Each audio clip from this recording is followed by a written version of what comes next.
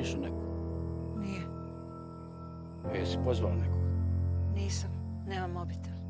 Valjda sam ga zaboravila negdje. Hoćete da vas ja odvezem možda? A problem neki? Znate, on je bio u zatvoru. Ja sam nazvao policiju. I to te jebe. Rekla je da će se vratiti, a nije se vratila. Bratislavija. Da. Postaće otac za šest mjeseci.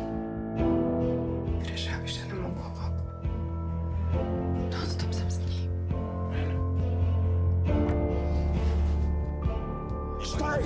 Vladimir, ja stai vivo! Vladimir, dite njega stai vivo! Stavi se!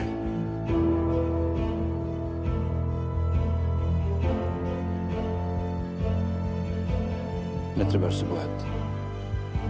To je bilo davno.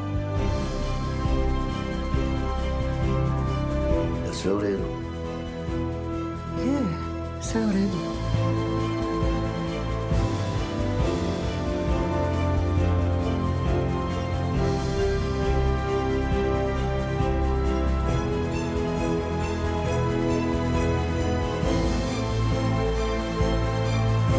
भेजें